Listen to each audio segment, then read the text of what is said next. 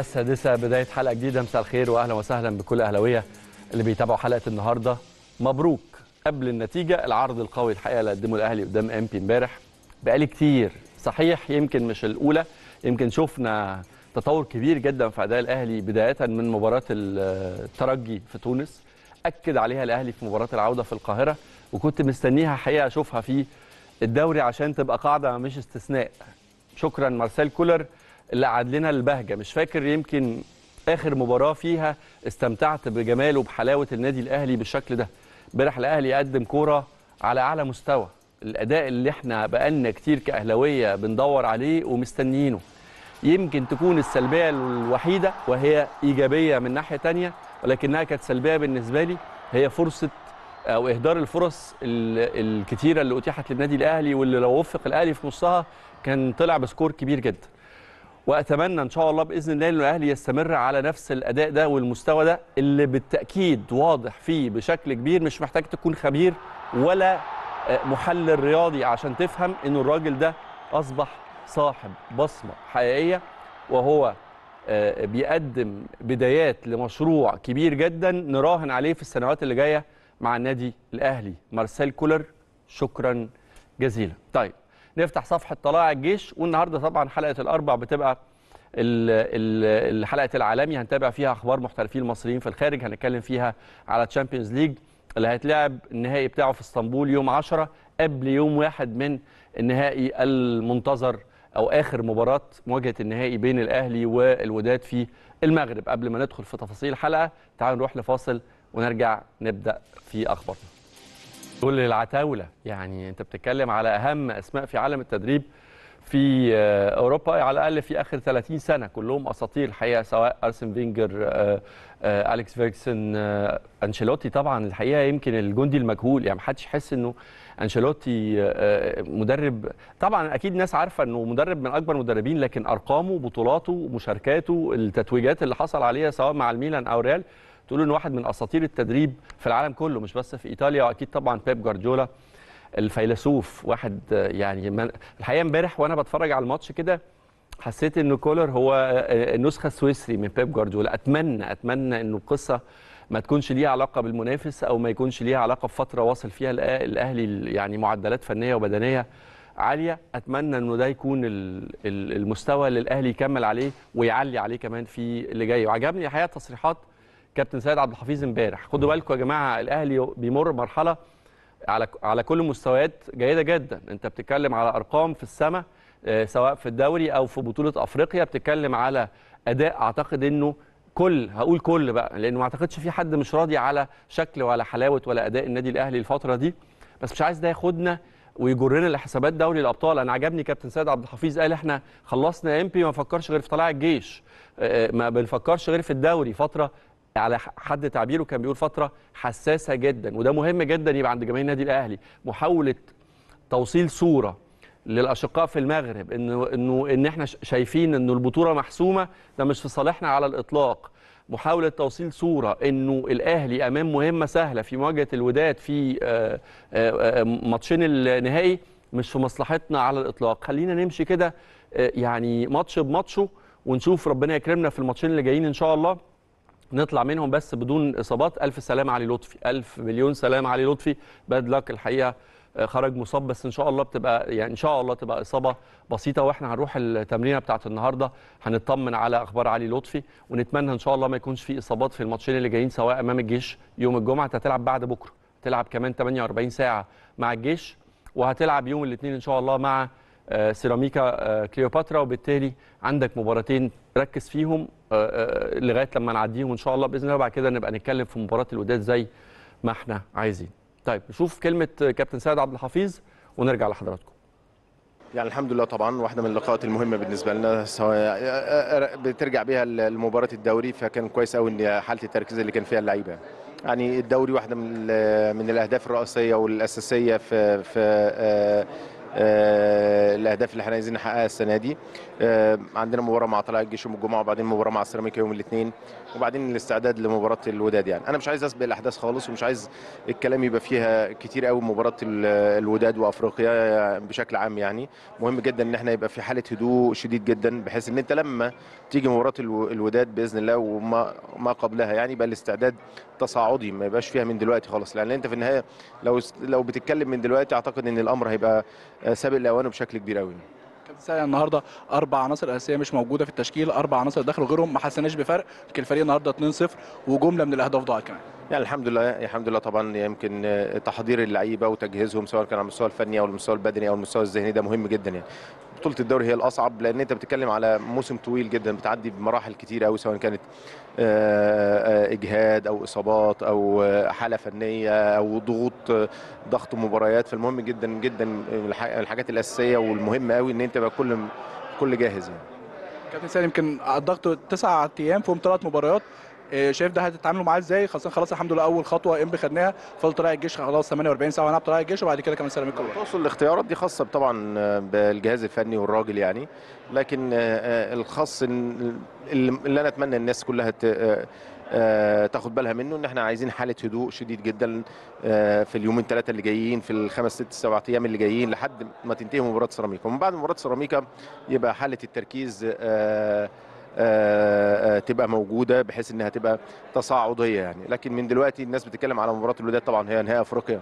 يعني آه، تاريخ عظيم للنادي الأهلي أربع مرات متتالية. عملها الأهلي يعني عملها مرتين عملها 2005 م- كان النهائي مع النجم الساحلي و2006 مع الصفاقسي و2008 و2007 مع النجم تاني وبعدين 2008 مع القطن الكاميروني. والنهاردة بتعملها أربع مرات متتالية برضو. يعني 2020 مع الزمالك 21 مع آه، كايزر تشيفز و22 مع الوداد و23 مع آه، الوداد مرة تانية. ده بالنسبة لابطال آه، الدوري. الأهلي عملها ست مرات بس كانت بطولتين مع بعض. 82 و83 و84 و85 82 و83 كانت دوري الأبطال. تل- 84 و85 و86 كانت آه، آه، كأس الكوس بمسماها القديم. 87 رجعنا تاني للأبطال. يعني انت عملت ستة فاينل ورا بعض بس كان داخلين بطولتين ورا بعض يعني. فتاريخ عظيم جدا للنادي ولاعيبته والمنظومه ككل يعني. لكن أنا بقول إن إحنا نهدى خالص. يعني مهم جدا جدا ان يوصل اللعيبه حالة هدوء شديدة جدا. يعني حالة تركيز في الدوري الأولويات دلوقتي بطولة الدوري واحدة من الحاجات المهمة جدا لينا السنة دي. عشان نوصل لمباراة طلائع الجيش بشكل هادي جدا ما فيهوش نرفزة وإن شاء الله الرحمن يا رب بإذن الله ما يبقاش في أي حاجة خالص للإصابات في المباراتين اللي جايين. بعد مباراة طلائع الجيش وسيراميكا نبدأ نتكلم على الوداد إن شاء الله. ده كلامكم على اللعيبه ودي رسالتك لعيبة. رسالتك بقى لجمهور النادي الأهلي العظيم اللي ما بتخلاش على الفريق في أي لحظة. لا يعني أنا مش عايز أقول رسائل هو عارف دوره كويس قوي يعني. إن شاء الله الرحمن نبقى آه، عند حسن ظنكم ونحقق بطولتين مهمين جدا آه، غاليين جدا اللي هي بطولة الدوري وبطولة أفريقيا إن شاء الله. إن شاء الله. شكرا. طيب. هنتكلم على ماتش الجيش وهنتكلم على مشوار الأهلي آه، سواء في الدوري أو في دوري الأبطال. بس خليني أفكركم بلقطة حصلت زي النهارده كده بس من 14 سنة. تحديدا 2009 كان في لقاء أو مباراة فاصلة مباراة حسم بين الأهلي والإسماعيلي على لقب بطولة الدوري موسم 2008 2009 اللي حصل إنه الأهلي والإسماعيلي فنشوا الدوري هما الاثنين في الصدارة برصيد 63 نقطة. المباريات أو المواجهات المباشرة كانت انتهت واحدة في الإسماعيلية لصالح الأهلي بهدف بركات واحدة في القاهرة لصالح الإسماعيلي بهدف محمد محسن أبو جريشة فاتلعبت مباراة فاصلة. كان هدف فلافيو اللي حضراتكم شايفينه ده هو السبب في تتويج النادي الأهلي. عرضية فلافيو طبعا الثنائي الانجولي الشهير أو الأشهر في تاريخ الكرة المصرية. ما يتهيأليش إن في لعيبة جت من أنجولا وتألقت كما تألق الثنائي ده جilberto وفلافيو. وكان الثنائي ده هو السبب في تتويج الأهلي بالبطولة في الموسم ده بعد آه، ما انتهت المباراة بنتيجة 1-0 وفوز الأهلي وإعلانه بطلا للنسخة دي من الدوري. لما كان الإسماعيلي طبعا في الوقت ده بينافس. طيب خلينا نروح لفاصل. بعد الفاصل نرجع نستقبل طبعا واحد من آه، رموز الكرة ال- ال- الكولومبية. فرانسيسكو ماتورانا طبعا درب منتخب ال ال ال كولومبيا درب فرق كتير في أمريكا اللاتينية درب في فترة من فترات أتلتيكو مدريد طبعا نادي الكبير في إسبانيا. خلينا نستقبله في السادسه لكن بعد الفاصل. ولسه طبعا بعد مباراة النهائي الأرقام دي هتروح في حتة تانية خالص بالذات بالنسبة للسيتي لو إن شاء الله إن شاء الله ما يعملش جوارديولا الإفيه بتاع كل سنة ونخسر البطولة. لكن إن شاء الله السيتي السنة دي جاهز وحاضر للقب البطولة على حساب الإنتر. على كل الأحوال كلها أيام ونشوف خلينا نروح لضيفنا اللي بيشرفنا في السادسه واحد طبعا من أساطير الكرة في كولومبيا. فرانسيسكو ماتورانا المدرب السابق طبعا لمنتخب كولومبيا ودرب عدد كبير من الأندية في أمريكا اللاتينية ودرب أتلتيكو مدريد في إسبانيا. خلينا نرحب بيه ونشكره على آه، مشاركته معنا طبعا أهلا وسهلا بيك. بشكرك على وجودك معنا في السادسه أهلا بيك.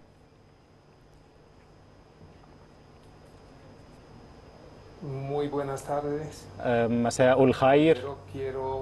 في البداية أود أن أشكر حضراتكم على هذه من قلبي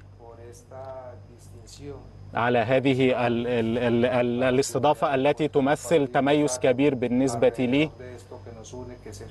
والحديث عن كل ما يتعلق عن كرة القدم طيب خليني أبدأ معاك الحقيقة قبل ما أدخل في موضوع موضوعاتنا أو أسئلتنا المتعلقة طبعا بالكرة وباوروبا وبكولومبيا تحديدا خليني أنا يعني مش عارف هل الصور اللي جات لك دي آه، آه، هدايا ولا انت كنت فعلا في زيارة لمصر؟ لأن أنا شايف مجموعة من أوراق البردي عليها رسومات مصرية قديمة فأعرف القصة إيه.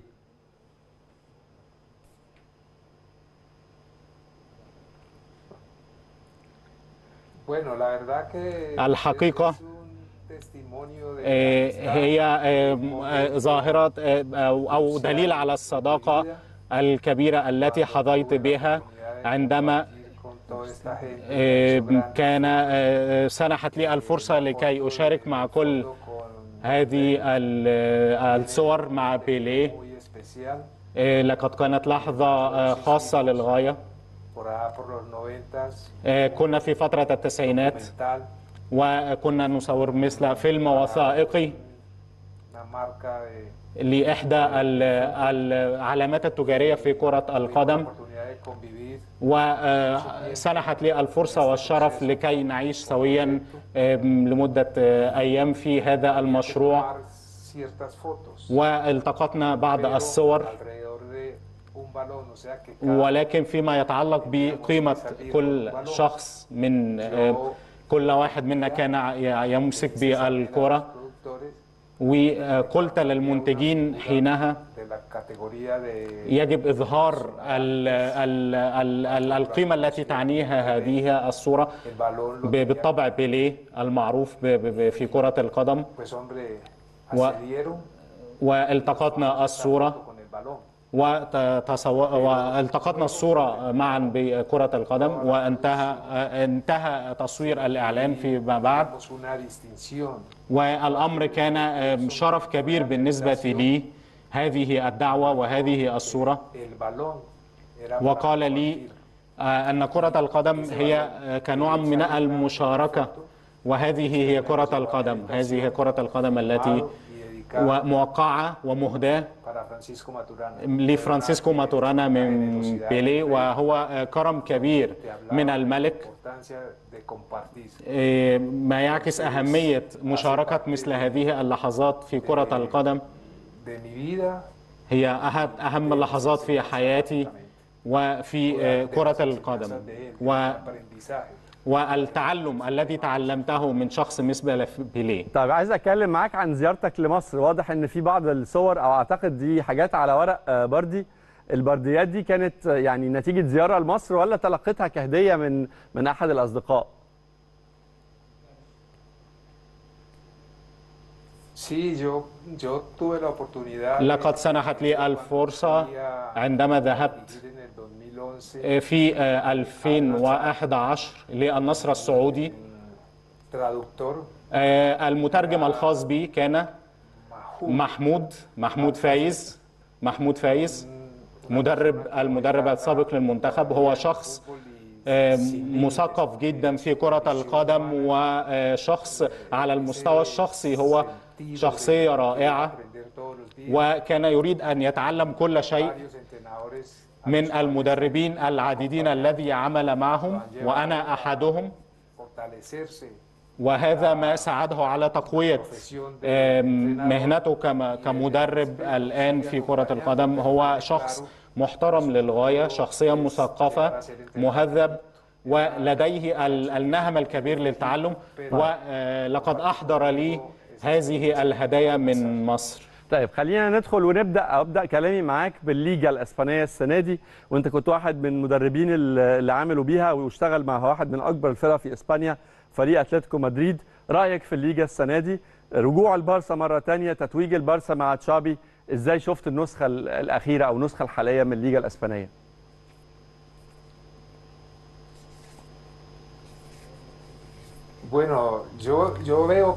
أعتقد أن الليجا الدوري الإسباني aprender. آه، هناك الكثير لكي نتعلم منه من الدوري الإسباني. española, الدوري الإسباني الليجا أو كرة القدم الإسبانية بشكل عام. لقد فازت mundo, لبطل العالم في 2010 في جنوب histórico. في لحظة تاريخية. إسبانيا غيرت فيها ثقافتها الكروية بشكل عام. إسبانيا لم تكن آه، لها نفس القدر من الأهمية في كرة القدم قبل هذه اللحظة. ولكنها بعد مونديال 2010 ولقب إسبانيا. الأمور تحولت تماما لكي تتحول بعد ذلك إلى أحد أهم آم، عناصر كرة القدم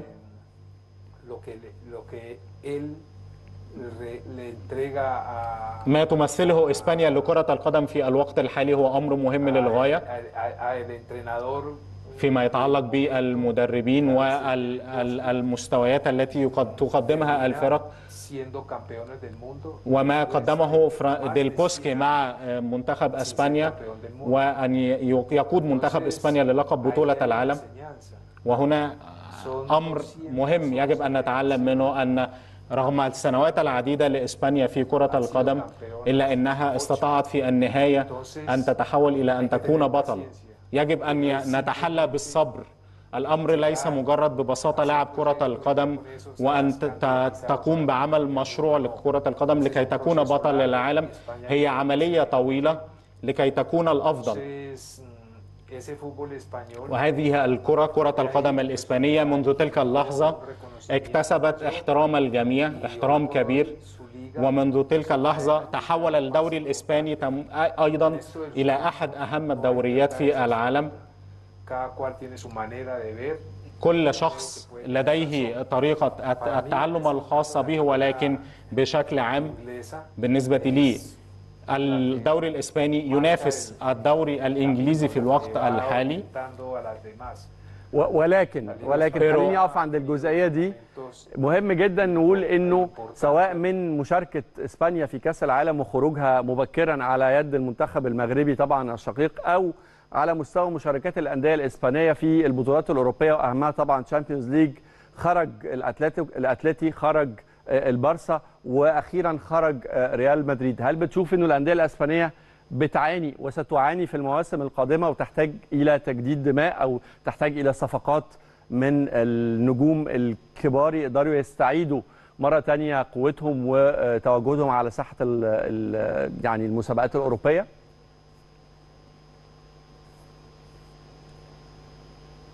Bueno, yo creo que أعتقد أن أن كرة القدم الإسبانية تمتلك كل شيء البنية التحتية لكي تقاتل وتنافس على كل آه، الألقاب وكي تترقى في ال- المستوى وتنافس على أعلى المستويات.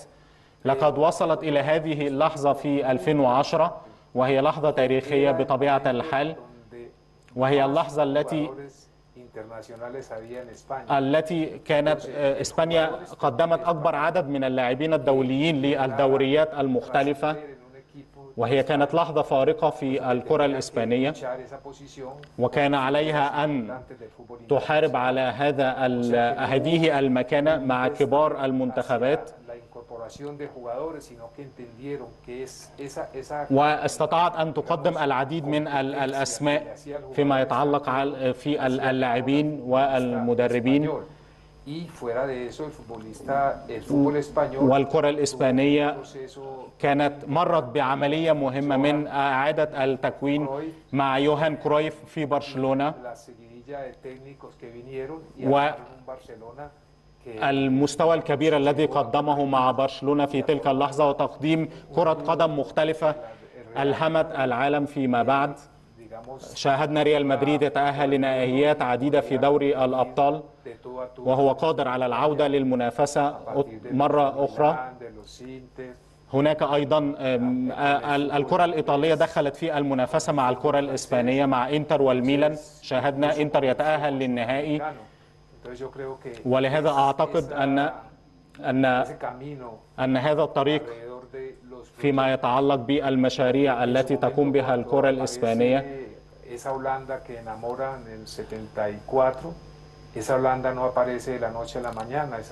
الأمر لا يحدث بين عشية وضحاها وإنما يحتاج لي العديد من ال- التجارب والصبر لكي تصل إلى ما قدمته في الف في 2010 وأن تعود لتكون بطل العالم مرة أخرى. كان ليك تجربة مع أتلتيكو مدريد وأتلتيكو مدريد بالتأكيد واحد من أكبر وأقوى الأندية مش بس على مستوى إسبانيا لكن على مستوى قارة أوروبا.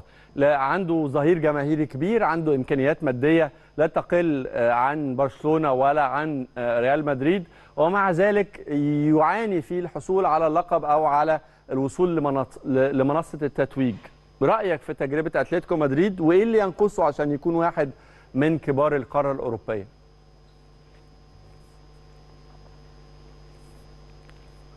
Bueno, cuando yo llego عندما وصلت إلى إسبانيا وجدت بعض النواقص والأشياء التي كانت تنقص ال-. آه، سمعت من العديدين من المدربين ومن اللاعبين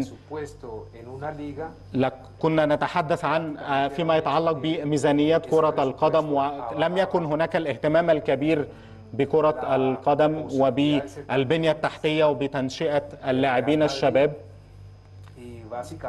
ريال مدريد هو كان المسيطر في تلك اللحظة و... ويأتي من بعده برشلونة من المهم جدا أن تعد ميزانية كبيرة لكي تستطيع المنافسة على الألقاب وأن تكون أحد الفرق الكبيرة للمنافسة سواء على اللقب محليا. الميزانية الخاصة بعملية التكوين المشروع. ولهذا عندما وصلت كان هناك أتلتيكو مدريد كان هناك فالنسيا.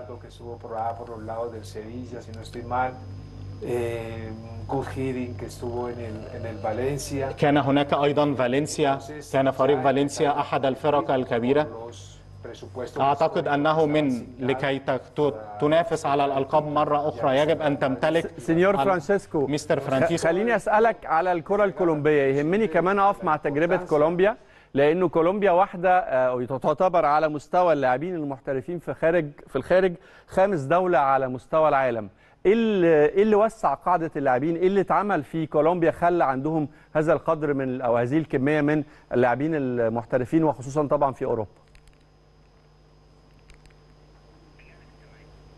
Bueno, el fútbol colombiano كرة القدم الكولومبية كولومبيا كانت معروفة بالمشاكل الاجتماعية وهذا كان يؤثر على كرة القدم de los años 90 حتى وصل حتى ظهر منتخب 1990 الذي تأهل مع كولومبيا إلى كأس العالم في إيطاليا. ومنذ تلك اللحظة الأمور تغيرت بشكل تماما. الجميع اعترف بالكرة الكولومبية و- و- وحظيت بالتقدير اللازم مثل تلك اللحظة. كرة القدم الكولومبية تمتلك المواهب نمتلك ال- المرآة الخاصة بنا آه، سواء في الأرجنتين أو في البرازيل. نحن نتعلم منهم como وحافظنا على مستوى التطور فيما يتعلق بالإهتمام بتثقيف المدربين واللاعبين. والبنية التحتية أيضا. نعلم أن هناك لاعبون يمارسون كرة القدم ولكن يجب أيضا أن نهتم بما يتيح لهؤلاء اللاعبين ممارسة كرة القدم في أفضل الظروف فيما يتعلق بالبنية التحتية. ونحن نتحدث أيضا على المستوى الإداري لتقوية هذه البنية التحتية ومواصلة التطور. ونشاهد في اليوم العديد من اللاعبين في كولومبيا الذين يلعبون في الدوريات الأوروبية. señor فرانسيسكو الأسئلة اللي جاية أسئلة سريعة وهبدأ بما إن إحنا بدأنا كلامنا وحوارنا من الصورة اللي وراك واللي بتجمعك بأسطورة كرة القدم البرازيلية آه، بيليه. بيليه ولا مارادونا؟ Bueno, esa es una experiencia que usted me, si me permite, me tengo que... Eh, إذا سمحت لي أريد أن أذكر شيئا سريعا. عندما وصلت إلى إسبانيا كان هناك الهوس الخاص بمن أفضل بيلي أو مارادونا. ولم وهذه ليس ليست هي الفكرة في من أفضل منهم. كان هناك لاعبين آخرين مثل ألفريدو دي ستيفانو. ولكن كل هذا يقودك إلى النهاية وهي المقارنات ليست جيدة لأنك تقارن بين لا يمكن أن تقارن بين حقب مختلفة. مارادونا كان الأفضل في حقبته لا هي مش هي مش مقارنة. وال- هي مش مقارنة. بالتأكيد الاثنين يعني واضيف عليهم فرانز بيكنباور واضيف عليهم يوهان كرايف واضيف عليهم أوزيبيو. بالتأكيد في أساطير ما حدش يختلف عليها. لكن لكل وجهة نظره أنا بسأل عن وجهة نظر أو عن رأي بالنسبة لفرانشيسكو ماتورانا مين الأفضل بالنسبة له في التاريخ؟ بيليه ولا مارادونا؟ Bueno, yo Supuesto. a los, a, a los dos los quiero muchísimo. أحب الاثنين. أنا أحب الاثنين كثيرا. لا يمكنني أن أقارن بهم ولكن يمكنني أن أقول أولا مارادونا. ميسي ولا مارادونا؟ Bueno, yo creo que eh, Argentina أعتقد أن الأرجنتين محظوظة بأن تمتلك الاثنين. بيب جوارديولا ولا كارلو أنشيلوتي؟ Bueno, yo creo que Pep أعتقد أن بيب una, ventaja يمتلك. أفضلية أكبر الاثنين من كي من كبار المدربين. ولكني أعتقد أن أن بيب جوارديولا ولكن إذا اخترنا بين الأفضل فأعتقد أنني سأختار بيب ومع الاثنين آه، أمتلك علاقة قوية مع الاثنين ولكني سأقول بيب مانشستر سيتي ولا انتر Eh, a ver, hay una cosa, hay el, el fútbol no está hecho. آه، كرة ال- الأمر لم ينتهي بعد. يجب أن تلعب في كرة القدم داخل المستطيل الأخضر. Eh, النظريات تقول أن مانشستر سيتي بالطبع هو المرشح الأفضل ولكن هذه المباراة النهائية لم تلعب بعد. وفي كرة القدم كل شيء وارد. فرانسيسكو ماتورانا بشكرك شكرا جزيلا. شرفتنا بوجودك معنا. آه، آه، في آه، السادسة على شاشة الأهلي. كل الشكر ليك على مشاركتك وعلى وقتك. أسطورة كرة القدم الكولومبية طبعا فرانسيسكو ماتورانا مدرب منتخب كولومبيا ومدرب أتلتيكو مدريد السابق. وزي ما قال كده أو ختم كلامه الحقيقة بالكلام على فكرة إنه لما سألته على السيتي ولا الإنتر وقال إنه كل النظريات وكل الآراء وكل المحللين بيشوفوا إنه السيتي وأنا منهم على فكرة بشوف إنه السيتي آه، فرصه أكبر بكتير جدا من الانتر في حسم اللقب والتتويج بالنسخه دي من ال Champions League. لكن في نفس الوقت بشوف إنه نفس الآراء دي ونفس النظريات دي بتمثل بالنسبة للإنتر ألف دافع ودافع إن هم يحافظوا عن آه، فرصهم وإن هم يحافظوا عن اسم ال- النادي بتاعهم وهم يدافعوا ويدافعوا عن أسمائهم هم شخصيا ويحققوا اللقب بالعند في كل الآراء اللي قالت إنه السيتي هو الأقدر والأفضل. على كل الأحوال جولتنا مع اللعيبة المصرية في الخارج فقرة ال GPS هتكون معانا في السادسه لكن بعد فاصل سريع. طيب. خلينا ناخد جولة مع المصريين أو اللاعبين المصريين المحترفين في الخارج. طبعا يعني هو الفترة دي يمكن مش مش أحسن حاجة ممكنة سواء اللعيبة اللي بتشارك أو حتى اللعيبة اللي انتهى الموسم بالنسبة لنا بالنسبة لها عندنا إصابة آه، أحمد حسن كوكا اصابه طبعا آه، آه، خلصت الموسم بالنسبة له بدري بدري نفس الأمر بالنسبة لإمام عاشور. عندنا كمان آه، طارق حامد أصيب وما شاركش مع اتحاد جدة. وعندنا طبعا النني ال- يعني من بداية الموسم تقريبا مش موجود مع الأرسنال. لكن خلينا نكمل ونشوف بقية لاعبينا أخبارهم إيه ومشاركاتهم ومساهماتهم مع فرقهم أخبارها إيه. البداية مع إنجلترا وليفربول نجم مصر ونجم ليفربول ونجم الدوري الإنجليزي محمد صلاح المتألق في الفترة الأخيرة الحقيقة. وإن كان طبعا تعادل مخيب للأمال في في الوقت اللي كنت بتقول ها ممكن في فرصة لليفربول تحاول تخش بعد ريمونتادا. آه حصلت متأخر لكن كان في أمل إن هم يخشوا من ضمن الأربعة الكبار. لكن مباراة الفريق الأخيرة انتهت بالتعادل أمام أستون فيلا بنتيجة 1-1 مدة مشاركة صلاح كانت 90 دقيقة. صنع هدف المباراة الوحيد وكان ليه محاوله وحيدة على المرمى. 8 نجح في اثنين منهم. تمريراته 28 تمريرات مفتاحية واحدة. العرضيات خمسة. ب ب يعني منهم واحدة بس سليمة. صناعة فرص مؤكدة واحدة.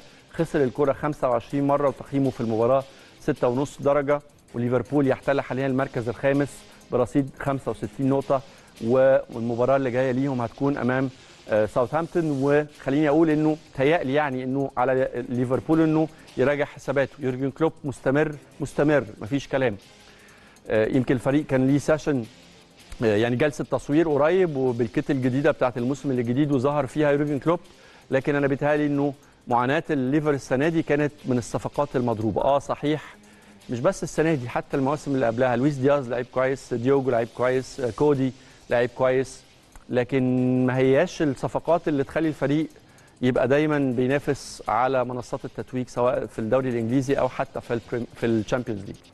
مرموش في آخر مبارياته بألوان فولفسبورج قبل ما ينتقل بقى بداية من الموسم اللي جاي لأينتراخت فرانكفورت شارك في خسارة فريقه في المباراة الأخيرة أمام فرايبورج بنتيجه 2-0 مدة مشاركته كانت 8 دقائق بس. كان ليه محاولتين على المرمى وإهدار فرص مؤكدة مرة وحيدة مراوغات ثلاثة نجح مرموش في واحدة منهم. تمريراته ستة بنسبة دقة 67% تمريرات المفتاحية واحدة وخسر الكرة أربع مرات وتقييمه 6.1 درجة في المباراة اللي اتلعبت أمام فرايبورج آه، فريق آه، مرموش فولفسبورج بيحتل حاليا المركز السابع في البوندسليجا برصيد 49 نقطة والمباراة اللي جاية ليهم هتكون أمام هيرتا برلين في الدوري.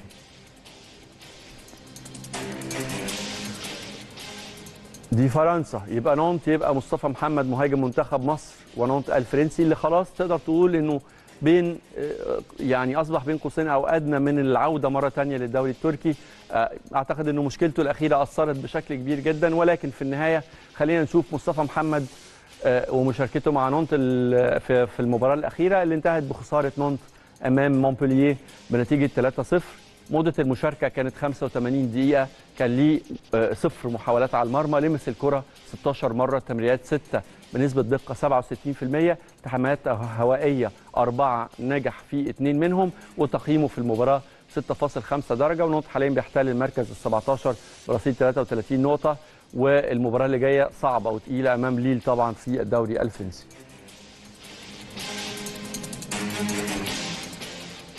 أمريكا أو الدوري الأمريكي. أحمد حمدي وبداية نسخة جديدة من الدوري الأمريكي.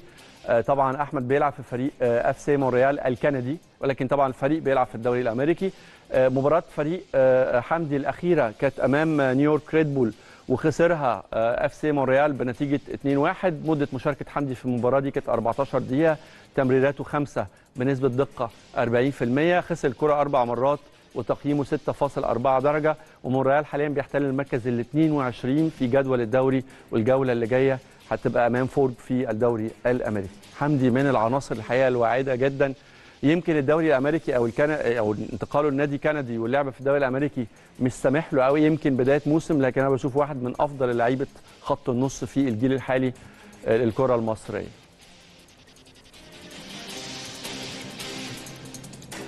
نروح لتركيا. محمود تريزيجيه لاعب ترابازون سبور طبعا اللي بيلعب في الدوري التركي. محمود تريزيجيه شارك في مباراة فريقه الأخيرة واللي انتهت آه، بفوز فريقه بنتيجة 4-1 على قارة جمرك ومدة مشاركة تريزيجيه في المباراة كانت 89 دقيقة.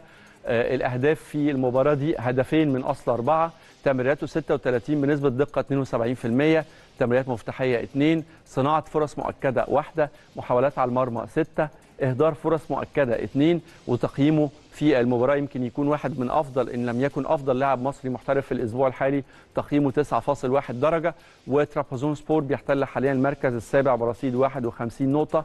والمباراة اللي جاية ليهم هتكون أمام جيرسون آه، سبور في الدوري التركي. ويمكن تريزيجيه في كلام كتير عليه إنه السنة الجاية في الدوري السعودي خطوة ما اتمناهاش صحيح يعني الدوري السعودي بقى واحد من الدوريات الكبيرة مش في المنطقة ده بنتكلم على مستوى العالم بقى تحت الأنظار لكن يظل اللعب في أوروبا وفي المسابقات الأوروبية بالنسبة لي أنا حتى لو بتلعب في تركيا أفضل بكتير. لكن في أنباء بتقول إنه تريزيجيه قريب جدا من أهلي جده ونروح بقى السعودية ونختم أخبارنا مع العميد اتحاد جدة اللي قريب جدا جدا جدا من حسم اللقب من بق الأسد.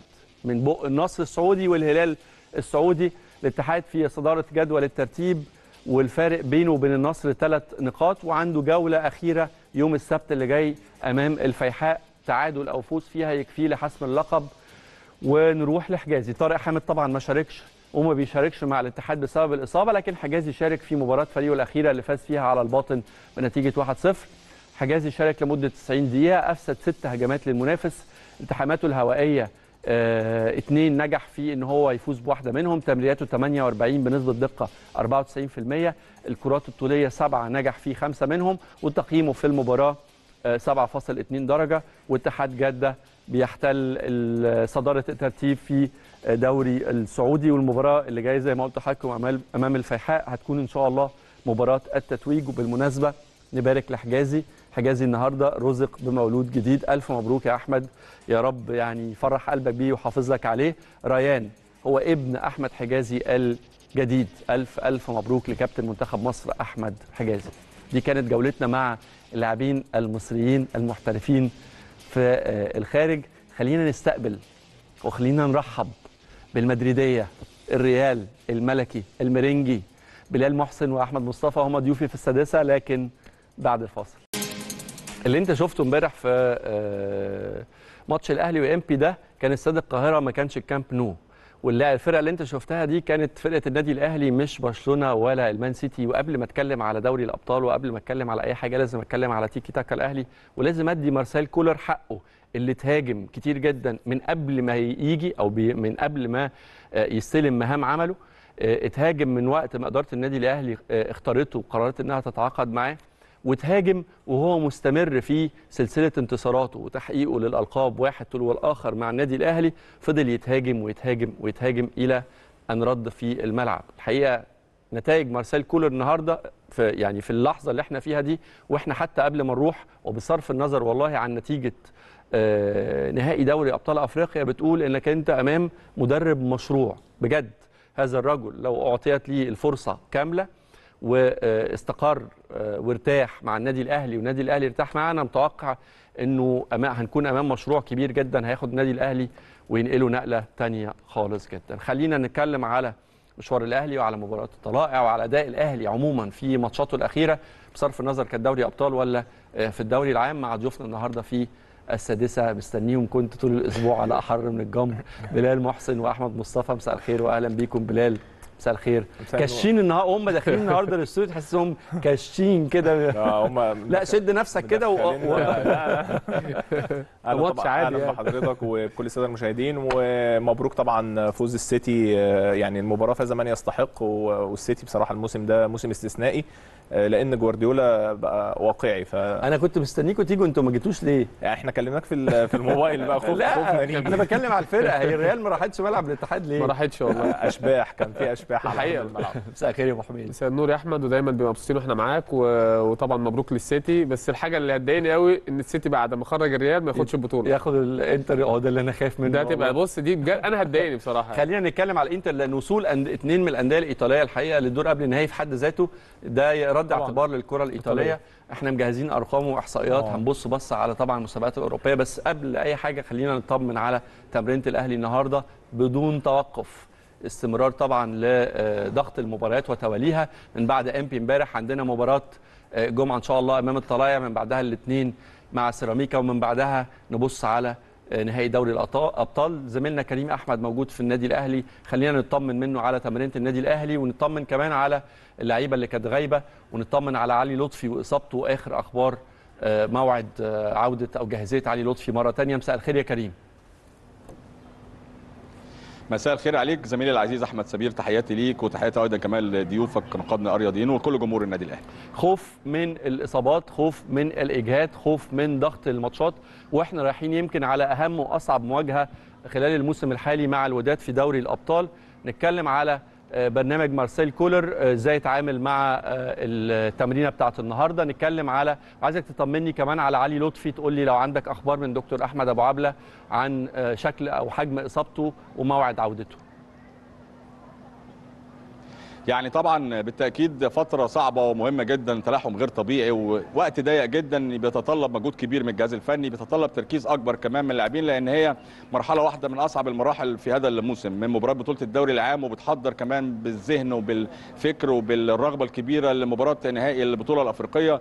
لكن كالعادة زي ما الحقيقة الجهاز الفني معودنا واللاعبين يعني هي مباراة مباراة بكل متغيراتها بكل ما فيها بتتقفل بتبدأ تبص على المرحلة القادمة وهي تحديدا بقى مباراة طلائع الجيش القادمة. شفنا التكتلات الدفاعية وشفنا تضييق المساحات امور بتكون صعبة جدا لكن الحقيقة الأمر المفرح جدا إن النادي الأهلي يعني ال rhythm بقى أكثر من رائع. وده يعود للجهاز الفني مستر كولر اللي يمكن ما فيش زي ما الراجل ما قال ما فيش يعني حد لا أساسي وحد احتياطي الراجل بيتعامل مع الكل لكن هي متطلبات مباريات بيوظف بشكل مميز جدا في بعض الأمور. ويمكن أكدنا كمان التغييرات مش عشان اللعيب ما بيبقاش مميز أو ما بيبقاش موفق في المباراة على قد ما كمان ال GPS وال heat map اللي أكدنا عليها واتكلمنا عليها ليها دور كبير جدا في تغيير اللاعبين. الراجل بيتابع تيتسيان مخطط الأحمال ليه دور مهم جدا في هذا الأمر. بنشوف الناس بتقول كولر هيغير في الدقيقة 70 الدقيقة 60 الأمور دي كلها أمور علمية. ده أمر مهم جدا. زي ما أكدنا قلنا بيبقى في قسوة شوية على بعض اللاعبين إن هي ممكن ما تبقاش موجودة أو إن هي تطلع من الملعب لكن المصلحة كلها هي للنادي الأهلي والهدف كله للنادي الأهلي. عشان كده إن شاء الله بنتمنى كالعادة من مستر كولر ال rotation مهم جدا تدوير مطلوب في المرحلة القادمة. شفنا عدد من اللاعبين غاب الفترة اللي فاتت الحقيقة أو تحديدا المباراة الأخيرة كهربا ومنعم والشحات أنا هبدأ أيوة. معاك بكهربا. النهارده يمكن كهربا متواجد في التدريب بيشارك في التدريب الجماعي بكل قوة إن شاء الله بإذن الله يكون متواجد في مباراة يوم الجمعة. أيضا كمان منعم بيشارك في التدريب الجماعي بكل قوته. لكن حسين الشحات اللي شفناه النهارده بيواصل عمليات التأهيل ومن الواضح حسين يكون أيضا كمان خارج مباراة طلائع الجيش القادمة. لأن أنت عارف زميلي أحمد هي مب- تدريب النهارده والتدريب الأساسي غدا هيكون تدريب يعني مش هيبقى في جرعة تدريبية كاملة للاعبين على قد ما الراجل هيحاول إن هو يضع كل التكتيك والأمور البسيطة. فمن الواضح إن حسين هيغيب عن المباراة القادمة. علي لطفي يعني مش هنقدر نقول حتى هذه اللحظة الحقيقة يمكن طبيب النادي الأهلي أحمد أبو عبلة. آه يمكن في إشاعة اتعملت لكن لسه في وقوف على الحالة. لكن أقدر أقول لك إن علي مش هيكون متواجد في مباراة طلائع الجيش. هي مش هنقول شد ولا ماذا هنقول يمكن إجهاد في العضلة الخلفية حتى هذه اللحظة فور الإعلان من طبيب النادي الأهلي أحمد أبو عبلة. لكن علي لطفي مش هيكون متواجد في المباراة القادمة طبقا طبعا للحالة النهارده عدم وجوده في التدريبات. تدريب الأم... تدريب الغد أيضا كمان شفنا النهارده مصطفى شوبير أيضا كمان مخلوف في دعم كمان من قطاع الناشئين بعدد من الحراس عشان التدريب بشكل عام محتاج جرعات تدريبية محتاج إن يكون في عدد من حراس المرمى. أمر صعب شوية.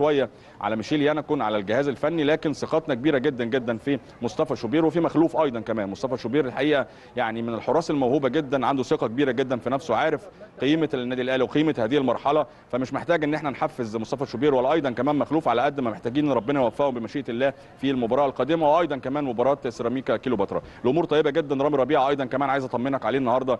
متواجد في التدريبات متواجد في الجدية شفناه أيضا كمان المباراة الماضية ما شاركش لكن بأكد لك على جاهزيته. أي وقت هيكون متواجد آه، رامي ربيعة أيضا يطلبه الجهاز الفني هيكون متواجد. هي بس القصة كلها في علي لطفي والشحات اللي بنعمل إن شاء الله الإصابة ما تطولش شوية لأن إحنا محتاجينهم الفترة القادمة. اللعيبة النهارده كلها اتمرنت مع بعض ولا كان في برنامج مختلف للعيبة اللي لعبت ماتش امبارح واللعيبة اللي ما شاركتش؟ لا يعني يمكن مستر كولر بعد المباراة على طول يعني بيبعد شوية كل اللاعبين اللي هي بتشارك في المباراة بشكل كامل أو كل اللعيبة اللي شاركت في المباراة بقوة 90 دقيقة بالكامل. النهارده يمكن مركز هو على كل المجموعة الثانية اللعيبة يمكن خدت مغطس ثلج النهارده recovery بسيط لكن كل المجموعة اللي ما بتشاركش هتاخد جرعة تدريبية كاملة.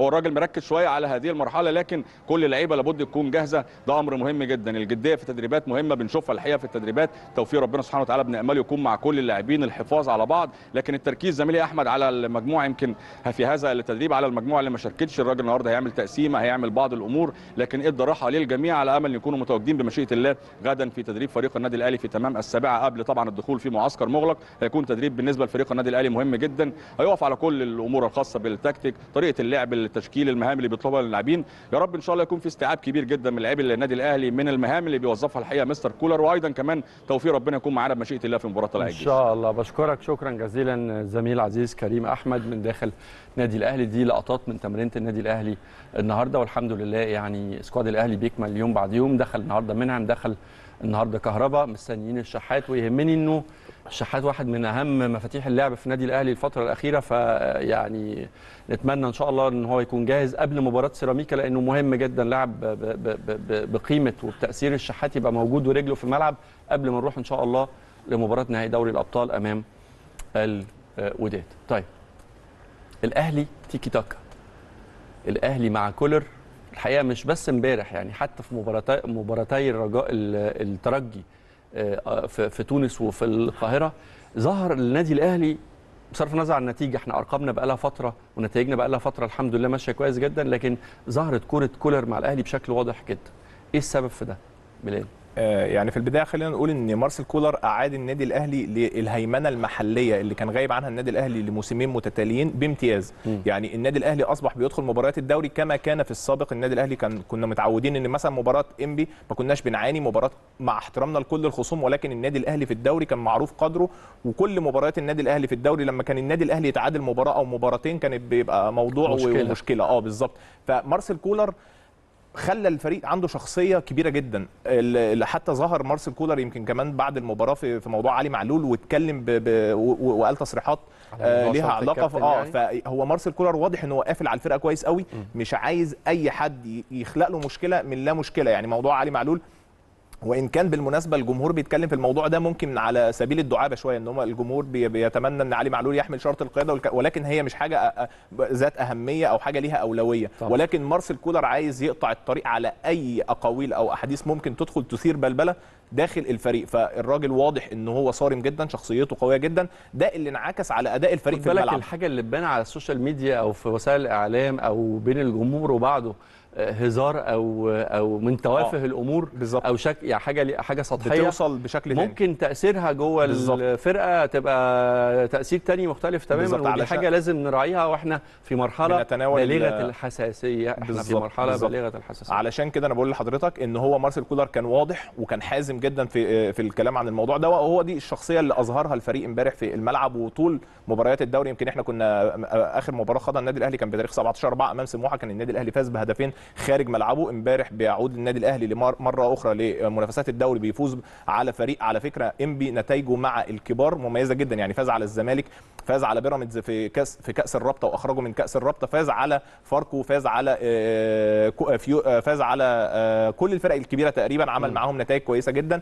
فانبي أمام ال- الفرق ال- الكبيرة بيقدم مستويات مميزة. ولكن امبارح النادي الأهلي فرض شخصيته و- و- وادائه وعملنا ال- المعادلة الصعبة. بتعمل فوز كبير وأداء وبالتالي أحمد فرحة الناس امبارح فرحة جمهور الأهلي امبارح يعني لاول مرة طبعا بنفرح على طول لما الأهلي بيكسب. لكن في أوقات حتى بنكسب وإحنا مش مست... مش مستمتعين. كان بيتهيألي ف- الناس امبارح فرحانة من العرض من الكورة من الستايل اللي بقى من شخصية الأهلي اللي باينة في الملعب أكتر ما هي فرحانة بثلاثة point أو بالمكسب آه، على انبي آه، طبعا يا أحمد آه، زي ما أنت قلت إن كولر بيأكد كل مباراة ان هو مدرب كبير جدا.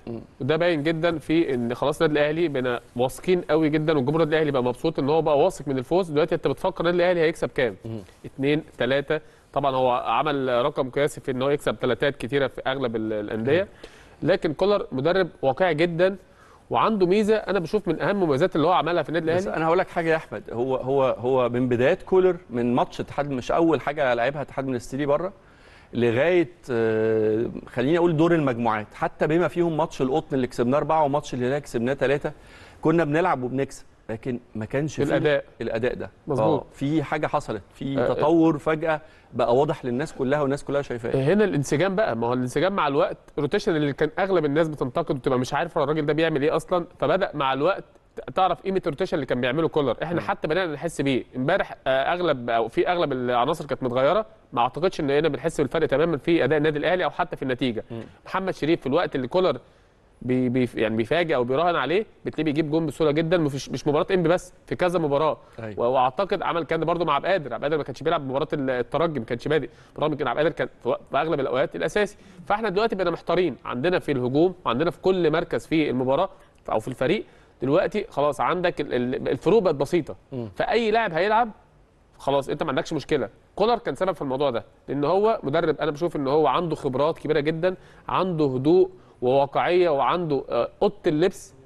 أنا بشوف إن النادي الأهلي من فترة كبيرة ما بقاش فيه هدوء جدا في أوضة اللبس من فترة كبيرة. عامل آه، آه، يعني أعتقد توازن وميزة مخلي حتى زي ما انت قلت برغم ان شخصيته قوية جدا لكن برضه في حالة من ال- ال- ال- ال- المرح اللي هو برضه بيديها برضه إحساس إن هو أيوة. مش مش مش بيشدد جدا. لكن أعتقد إن كولر كان سبب كبير في آه، ترتيب أو تحول أداء النادي الأهلي مع النتيجة. فأعتقد إن كولر مدرب كبير جدا وهيبقى إضافة كبيرة جدا ويعمل تاريخ جدا مع إن النادي شاء الأهلي. الله نراهن عليه إن شاء الله في اللي جاي. ماتش الطلايع مباراة سا... الطلايع نزل تقريبا خلاص. يعني حسابيا لسه ممكن يكون عنده أمل لكن يعني آه، مهمة أمامه مهمة مستحيلة. هل ده يخليه يتشبث بالأمل ويقدم جيم كبير قدام الأهلي تبقى مباراة؟ وإحنا طول عمرنا ماتشاتنا مع طلائع الجيش يعني آه، بيبقى فيها سخونة و... وندية ولا القصة لا يعني, يعني أنا منتهية. مم، لا أنا بتوقع طبعا إن مباراة الطلاع هتبقى أصعب بكتير من مواجهة انبي خاصة إن انبي إمبارح والمدير الفني تامر مصطفى كان متحفظ طول الوقت حتى بعد ما تلقى الهدف الأول والهدف الثاني لم يبادر ب ب بالهجوم خالص وده كانت علامة استفهام بالنسبة لي وأنا بت ب يعني بتابع المباراة إن أنا أنا عايز أقول لك حاجة يعني وأنا آسف إن أنا بقطع كلامك بيتهيألي إنه style لعب النادي الأهلي ده هيخلي الناس تفكر ألف مرة هتلعب الأهلي إزاي يعني فريق آه، عنده آه، كل مميزات الكرة. الكرة العصرية سيطره استحواذ فعالية. إحنا كل ماتشات دلوقتي بما فيهم ماتش الترجي. هنا وهناك بتخلق عندك قدرة إنك تخلق دوافع، آه، فرص. آه، لا فرص كتيرة جدا. كل ماتش. وفي تنوع. يعني مش كلها آه، جملة تقدر تقول عليها محفوظة. انت كل مرة بت- بتوصل بطريقة شكل فبالتالي كل حد النهارده بيواجه الأهلي بيفكر مليون مرة هلعب مع الأهلي إزاي. بالظبط. يعني يمكن إحنا كنا عانينا فترة كبيرة جدا من عدم الوصول للمرمى. إحنا كنا بنستحوذ وبنمتلك الكرة وكل حاجة ولكن ما كناش بنهدد المرمى ما كناش بنشكل خطورة. أنت دلوقتي زي ما حضرتك بتقول بتوصل للمرمى عن طريق علي معلول بتوصل عن طريق محمد هاني عن طريق بيرسي تاو عبد القادر حسين الشحات. امبارح حتى نص البدلاء الملعب. يعني عمرو السوليه امبارح لما شارك أيوة، جاب كرة في العارضة. آه آه. بالظبط. أحمد عبد القادر كان ليه كذا محاولة القندوسي لما نزل. امبارح عبد القادر آه، في كورتين ثلاثة لو. كان جابهم. آه يعني, يعني يعني عالمي. آه بالظبط عالمي. بالظبط. اللمسه الأخيرة لو اشتغل. ده ده من ضمن الحلول اللي موجودة في الفريق المهارة الفردية. زي زي آه، القندوسي لما لما شارك امبارح عمل آه، عرض طيب جدا وساب آه، بصمة كبيرة مع الجمهور امبارح. محمد مجدي قفشة في الكرة اللي عملها برؤية كبيرة جدا لأحمد عبد القادر في كرة ال- ال- الانفراد. على فكرة طريقة لعب الأهلي دي تخدم جدا لعيبه اللي عندها كرة زي قفشة وقندوسي وعبد القادر. صح بالظبط. يعني اللعيبة دي حلول. تظهر قوي في ال في ال في التحركات من غير كرة في اللمسات السريعة لمسات الباصات القصيرة. يبان آه، يعني يعني تاكيدا على الكلام دي ده الهجمة الوحيدة الانبي دي الهجمة الوحيدة الام بي آه وتصدر ليها علي لطفي جدا من علي لطفي طبعا طبعا. كان ليها تأثير كبير على النتيجة يسأل بالمناسبة. يسأله دي واحدة لحمدي دي أعتقد دي برضه. تمريرة عبقرية من في محمد شريف في, في ماتش الترجي قعدوا يعني دي تيكا توكا بالظبط آه. من من السوليه بكعبه لقفشه لعب قادر القادر. للسوليه تاني كان هيبقى لعب هدف قادر كان. أحلى كان بجد. يبقى أحلى هدف لا لا لا في تاريخ الموسم فعلا كله وفي يعني تاريخ العشر ال- ده أعتقد مواسم. دي جملة من من مستر كولر دي يعني كوره ما بنشوفهاش غير في جدا برشلونة من أيام أيام برشلونة لما. كان برشلونة آه، أرسنال لما كان آه، ارسنال بالظبط. آه، دينيس بيركامب وتيري و- هنري لا إحنا كمان شفنا امبارح لسه بقول لحضرتك القندوسي لما شارك والكعوب اللي, اللي عملها آه. والمهارة الكبيرة شفنا أحمد عبد القادر في, في أكتر من كورة شفنا لعب جماعي والتمرير بين الخطوط يعني يمكن الهجمة دي كان فيها تمرير تمريرة مميزة جدا لمحمد شريف اللي سقط ونزل عشان خاطر يسحب معاه المدافع وفضل حمدي فتحي اللي عمل اللي عمل يعني بص دي دي دي كرة هدف الهدف شريف آه. يعني بص. بقى حلوة قوي قوي من شريف بصراحة ولكن قبل قبل كمان قبل صح آه. قرار قبل قبل بص بص دايما حمدي فتحي واخد اتنين معاه أهو آه. هو ده اللي حصل في كرة الهدف ال- الأول يعني حمدي دخل لجوه منطقة الجزاء اتلعبت لحمدي اتنين معاه ال- التحموا معاه فضل لمحمد شريف ولكن هنا طبعا يحسب لمحمد شريف آه، بمهارة فردية رائعة على طريقة وليد سليمان وإحساس برضو آه، يعني إحساس. احساس بال- وإحداثيات المرمى طبعا, طبعا هو هو. يعني هو ما شافش. الجون حتى بعد ما الكورة. دخلت الجون وأعتقد إن الجون كمان. الجون كمان أصلا بالرغم إن هي الكورة مش قوية لكن ما توقعهاش بسبب ان هو اخذ قرار مفاجئ أيوه هو- ورايحه في زاوية برضو صعبة جدا. طبعا بعيدة راح بعيدة خالص علي لطفي برضو طبعا كان عامل أداء مميز علي. وبس... وعايزين برضو يعني كولر بصراحة يعني من ضمن المميزات اللي عملها إن هو في لعيبة إحنا شايفينها اتطورت بقت يعني كنا اوقات كتيرة كنا بنقول مستواها ماتش زي محمد هاني. محمد هاني لازم نديله حقه بصراحة بيقدم مستويات كبيرة جدا جدا جدا. شايف إن هو آه، بيرسي تاو بيمر بأعلى فتراته الف- الفنية. بس لو تفتكروا نفس ال squad ده في في يعني في أوقات تانية قبل كده؟ كنا بنعاني. كنت بت يعني ال- الفرقة اللي قدامك لما بتلجأ لفكرة والله زمان يا سلاحي صح. بنعاني. وبتتكدس دفاعيا تقعد أنت 90 دقيقة كنا بنكسب بصعوبة في الدوري و-. ما كانتش الكيمياء بينهم بتكسب. ما كانتش. الكيمياء بينهم ولما كده. بتكسب بتكسب بالواحد بالعافية، صح. أيوه أيوه أيوه بالظبط ما عشان كده بقول لحضرتك إحنا كنا بنعاني آه، كتير جدا عشان عشان نوصل للمرمى ونخلق حلول ولكن دلوقتي بقى في انسيابية كبيرة جدا أحد أهم آه، يعني عوامل ال- ال- الأداء ال- ال- أو اللي غير الأداء بصراحة آه، وهفضل عند رأيي هو دخول مروان عطية لتشكيل النادي الأهلي آه، لا. بص أنا هقول لك حاجة مروان إضافة أداء- كبيرة أداء جدا. وأداء. آه لا لا إضافة كبيرة جدا لخط نص النادي الأهلي ولعيب ما شاء الله عليه ربنا يحفظه يا رب. لكن أنا بشوف إنه أكتر حاجة وصلت الأهلي يعني إذا كنا بنحاول نخش كده في عقل كولر آه، أكتر حاجة وصلت الأهلي للمستوى ده من الأداء هو فكرة عدم آه، التمركز في ال- آه، في الملعب. يعني تقيد بمركز بالمراكز. صح. أنا النهارده بشوف آه، لعيبة بت بتغير. يعني الأول يتفق في ده كل مدربين مش بخص مدرب واحد لكن كل واحد وارث فدان أرض. بالظبط. الحتة دي بتاعتي في الملعب صح. أنا ما بروحش لا يمين ولا شمال. لكن النهارده بقينا بنشوف آه، ده بيجي من أقصى اليمين لأقصى الشمال وهاني بيخش في نص الملعب ومعلول بيخش في نص الملعب وعبد القادر بيروح عطاف، جناح حمدي بيطلع. بيدخل آه. جونين. آه فعدم التقيد بالمراكز دي واحدة بس أنا عايز أقول لحضرتك استكمالا لنقطة مروان أنا في رأيي برضو إن اللي عمل أو ادى كولر ال- الشجاعة إن هو يعمل كده هو آه. وجود مروان عطية لا يعني قبل قبل دخول مروان عطية للتشكيل كان حمدي فتحي اللي بيلعب رقم ستة ما كانش لسه حمدي بعد بقى ما ما, ما- ما دخل مروان للتشكيل ابتدى مارسيل كولر يفكر في مركز جديد آه. لحمدي فتحي ويدخل كمهاجم تاني وده فرق بصوره كبيرة جدا لأن معظم أهداف النادي الأهلي الموسم ده خاصة من يناير هتلاقي حمدي مشارك فيها. اما كان بصناعة أو تسجيل وأهداف حاسمة وحاجات كلها بيساهم فيها بدور كبير جدا. طيب. حمدي فتحي. تفضل بقى على الورقة. سيبك من النتيجة وسيبك من المنافسة على الدوري خالص. ما بتكلمش أرقام دلوقتي لكن بكلم آه، شغل مدير فني.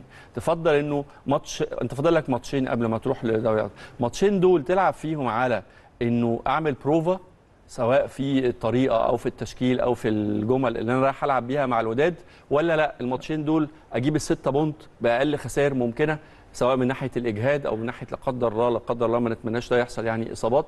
وأطلع كده بفرقتي سليمة ومن بعد ماتش سيراميكا في الملف الدوري ده وأبتدي أحضر للوداد بشكل منفصل.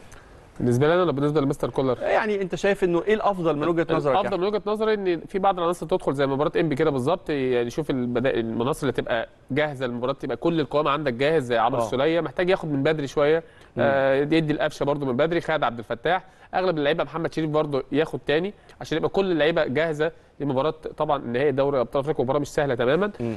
لكن أعتقد مستر كولر بي- بيفصل كل مباراة عن بعضها أنا آه. متأكد إن هو بيفكر التفكير ده وده شفناه طبعا إن كل حتى الناس استغربت إن هو يلعب مباراة العودة بتاعة الترجي بحمدي فتحي بالرغم إن هو معرض إن هو ممكن يطرد ويلعب بالتشكيل الأساسي تماما فدي باين إن الراجل ده لأ أنا, آه عنده أنا إصرار معلول كنا فاكرين إنه هيريح يعني أنا عايز أخد هو- من كلمة أحمد حاجة آه. مهمة آه، بيفصل. اللي يترجم بقى كلام أحمد آه، ويقول إن فعلا كولر التصريح الشهير بتاعه إن أهم مباراة بالنسبة لي هي هي المباراة المباراة اللي عندي القادمة. آه. طبعا هو أنا بتكلم في إن في إن كولر أعتقد كل مباراة فاصلها تماما عن المباراة اللي بعدها. يعني هو. بيتعامل مع المباراة اللي جاية بتاعة طلائع الجيش. أعتقد دي مباراة منفصلة تماما مش هيفكر ما بيفكرش دلوقتي خالص لأن هو عمل حاجة حلوة من أول الدوري من أول ما بدأ يمسك إن هو مجهز اللعيبة كلها عامل rotation حتى لو في لعيب يعني غاب لأيا كان السبب لا هو عنده بديل. وعشان كده أعتقد آه، مع كولر النجم هو النادي الأهلي. مم. ودي على فكرة من شخصيه النادي الأهلي. أيوه. عشان كده كولر أعتقد إن هو يعني بقى وبقى شارب من شخصية النادي الأهلي كتير جدا. جدا بقى في طريقته في, في المؤتمر الصحفية بتاعته إن هو خلاص تحس إن إن كولر بيتعامل بنفس الهيبة بتاعت النادي الأهلي وبنفس المتعة مع المكسب خلاص بقى إن مفيش نجم النادي الأهلي ما بيوقفش على نجم صحيح وإن كانت المكسب في المرحلة دي مهم جدا لكن طبعا. أنا أتمنى من الأهلي من الفرقة يعني أهي كره عبد القادر اللي. كنا بنتكلم عليها عمل عمل كل حاجة. فينيسيوس رقص رقص آه. كل الناس عمل كل حاجة في الكورة اللعيبة- يعني هو كان عيد ميلاده كان زعل جدا اللعيبة عيد ميلاده كان امبارح فكان آه،. مزاجه رايق بقى. آه، اللعيبه الحريف دي ضربته يعمل لك كرة حلوة قوي ف... ودي بتاعت قندوسي طبعا برضو آه. لمها حلوة قوي وما قوي. لا إحنا وصلنا كتير هي دي يمكن وأنا ببدأ الحلقة النهارده الحاجة الوحيدة السلبية اللي اللي تبقى مستمتع بيها يعني هي سلبية بس أنت مستمتع بيها إنك بتوصل من كل حتة وبتوصل بمختلف الأشكال مهارة ومراوغة واختراق عرضيات صح. تصويب من الخارج تحرك يعني بص انت امبارح عملت كل حاجة في الكورة والنتيجة ما قدر الله لا قدر الله مش عايزين يعني نيجي في وقت نندم فيه على الفرص أيوة، الضايعة دي. السلبية بقى. هو دي النقطة السلبية آه، إن يعني- الحاجات دي لا, لا يجب إهدارها لأنه لأن- في أوقات ممكن تندم مباراة امبارح تع- تع- تعتبر استكمال أيوة. لمباراة الذهاب في رادس أمام الترجي، كان اللعيبة برضو بتتسابق على إهدار الفرص صحيح. السهلة امبارح نفس الكلام، نتمنى إن شاء الله من مباراة طلائع الجيش ومباراة سيراميكا سيراميكا إن يكون في آه، جدية أكتر واهتمام أكتر في التعامل مع ال- الكرات السهلة. الف سلامة علي لطفي. يعني تعاطفت معاه جدا جدا جدا في اللحظة حظه سيء. طبعا. آه باد لك. ومش هي مش لك بصراحة لا، هي. برضو يعني علامة استفهام بصراحة. خد بالك إنه هو حراس فتح المرمى. فتح سبرنت مع رفيق سبرنت، كاب آه، واسرع فتح لعيب في العالم آه، مش فتح في سبرنت جامد. بس هو في آه. النهاية برضو يعني حارس المرمى هو أقل لاعب بيبذل مجهود بدني في الفريق. فلما يبقى عندك آه، اتنين إصابة آه، الشناوي مشكلة داخل و- كمان على نهائي كمان آه، بس. وجود مصطفى شوبير. يط- يطمنك يعني أيوة. مصطفى شوبير واحد من من أفضل الحراس والله على بص ال- على كل. حراس مرمى النادي الأهلي الكبار أو مدربين حراس المرمى هتلاقي آه، كلهم بيقولوا إنه شوبير وحمزة علاء ومصطفى مصطفى مخلوف الثلاثه طبعا. على فكرة الثلاثه منتخبات منتخب. اولمبي منتخب أيوة، أيوة. شباب منتخب ناشئين الثلاثه لا يعني كل الناس بتقول لك آه، يعني حتى مش اخر القايمه مصطفى مخلوف في ناس بتقول لي شاعر في مصطفى منتخب. هو الشباب. حارس منتخب مرمى 2003 منتخب 2003 مصطفى مخلوف علاء الأساسي منتخب الأولمبي. تقييم آه. مدربين حراس مرمى بالظبط. عين مدرب حراس المرمى رؤيتهم ل... غير آه، آه. فاهم يعني طبعا. شايف إنه ده حارس مرمى كويس جدا طيب يعني كل التوفيق للأهلي في ماتش الطلايع ومن بعده إن شاء الله سيراميكا وإن كان هيكون عندنا وقت نتكلم على ماتش سيراميكا بس نتابع ماتش الطلايع يوم الجمعة. نقفل المحلي ونروح للأوروبي. خلاص بقى. تعالوا لي أنا قلت تعالوا لي بقى. تعالوا لي بقى. طب خلينا في المحلي. خلينا في الأهلي. الأهلي بيكسب. إنتر ولا الميلان؟ آه إنتر ولا شوف إنتر ولا السيتي؟ لا السيتي مش السيتي قادر تقولها انت مش قادر آه. تقولها. لا لا السيتي السيتي أنا يمكن إحنا أنا كنت قلت في حلقة سابقة هي شكلها سنة إنصاف ال- الناس اللي كان ليهم تأثير على كرة القدم. كرة القدم أنصفت ميسي في كأس العالم وقلت يمكن تنصف جوارديولا ويتوج بدوري أبطال أوروبا وهي شكلها خلاص يعني على مقربه على بعد خطوة واحدة جوارديولا. آه، والسيتي ده ما ينكرش المجهود الكبير والمشوار العظيم اللي عمله إنتر ميلان في البطولة زيه زي مانشستر سيتي. ولكن آه، يعني على أرض ال- الملعب لا السيتي آه، أقوى بكتير من آه، أسلحته أقوى من أسلحة. إنتر ميلان. إسبانيا غايبة. الأندية الأسبانية هي أكثر أندية العالم تتويجا بلقب ال Champions League. في 13 نادي من إسبانيا شاركوا في ال Champions League. أحرزوا 19 لقب طبعا ال- أيوه أيوه يعني أيوه. ح- حصة الأسد أو نصيب 14 الاسد منها ريال مدريد. لريال مدريد 14 لقب. إنجلترا في 10 أندية شاركوا في دوري الأبطال أوروبا. آه، حققوا 14 لقب. آه، طبعا أبرزهم الليفر واليونايتد. السيتي ما حققش لسه لقب Champions League هيحققوا إن شاء الله يوم 10 6 على حساب إسطنبول. بالظبط. كده. إيطاليا في المركز الثالث. 10 10 أندية من إيطاليا شاركوا في ال Champions League 12 لقب أهمهم طبعا الميلان ست طبعاً. ألقاب.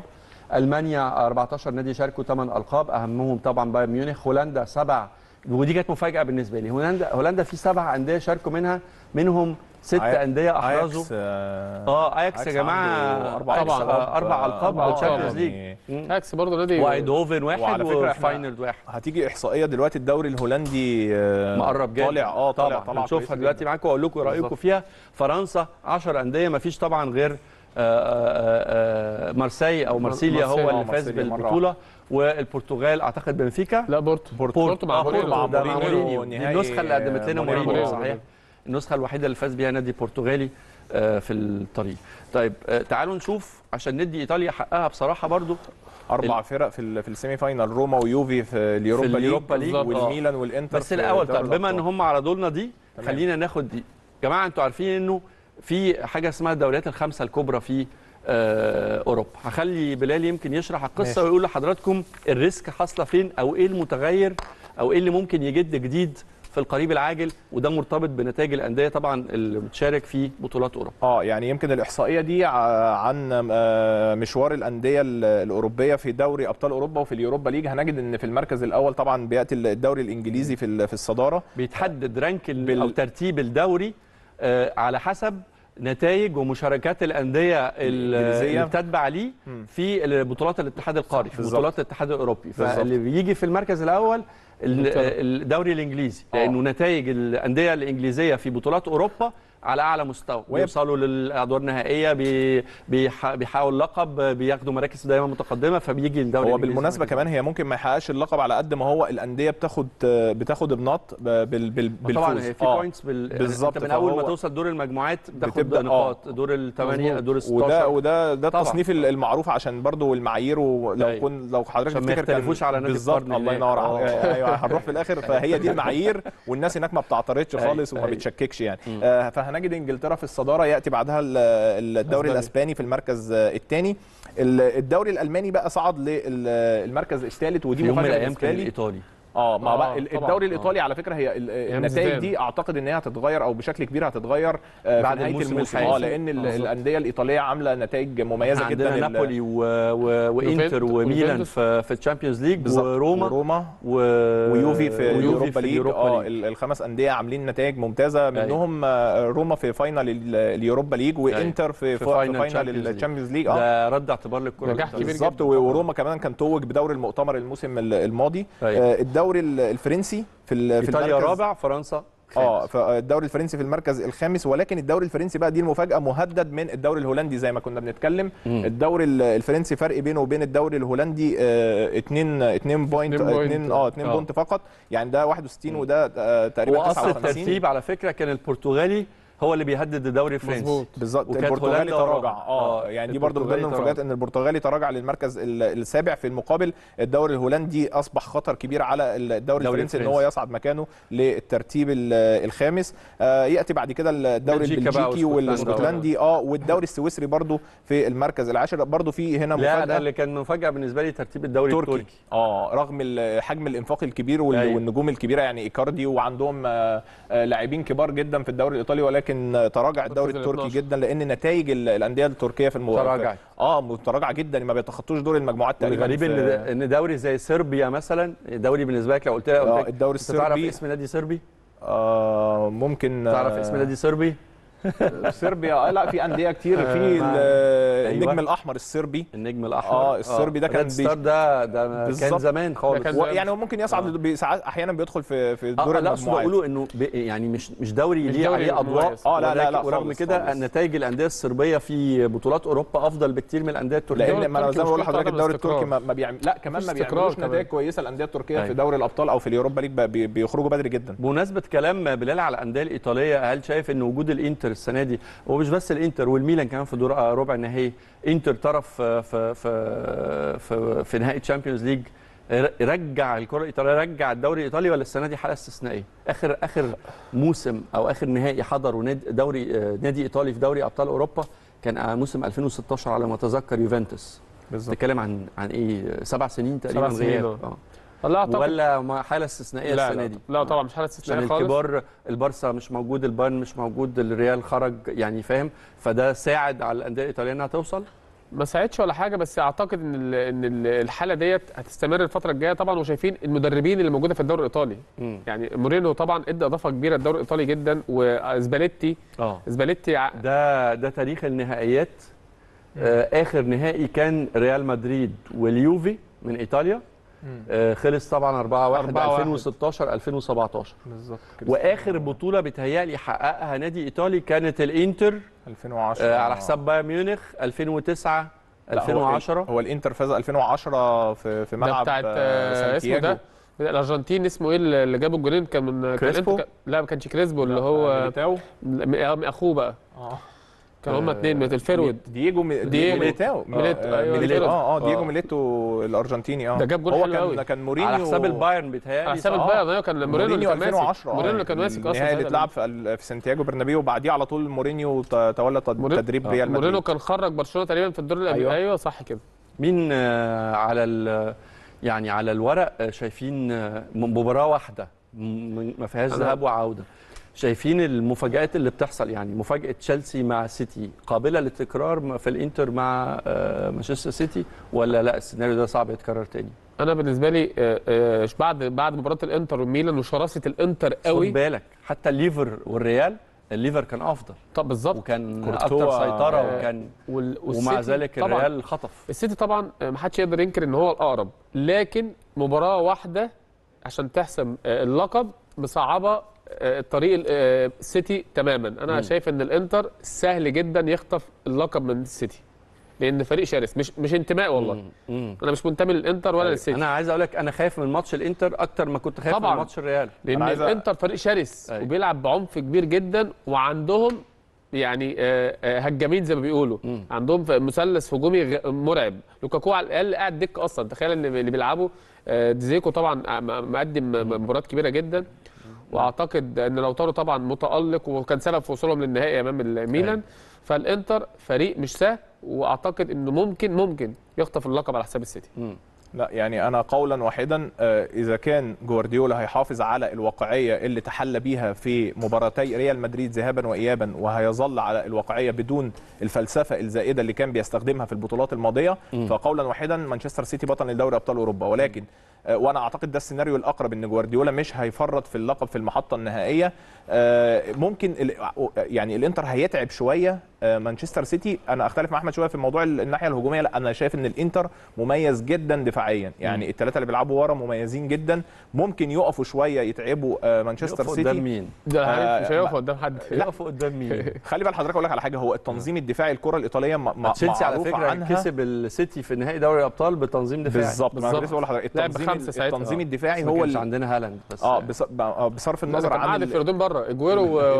وفينيسيوس. آه آه ما أنا عشان كده بقول لك لو لو جوارديولا استمر على الواقعية اللي اللي كان عليها آه، في في مباراتي قبل النهائي آه. فجوارديولا هيتوج بال- بالبطولة. طيب عشان وقتنا هقفل ملف ال Champions League والأيام جاية جاية ولسه بدري على 10 6 هنفتحه بالتأكيد تاني. يهمني اخد معاكم جولة سريعة في أخبار لاعبينا المحترفين في الخارج. أنا كنت بتكلم في فقرة ال GPS قبل ما أنتم تدخلوا عن مشاركاتهم. هل في جديد فيما يخص انتقال آه، أحد اللاعبين المصريين المحترفين في الخارج؟ اتكلمت على مصطفى محمد مرموش خلاص. مرموش راح اينتراخت مضى خلاص اينتراخت آه، فرانكفورت.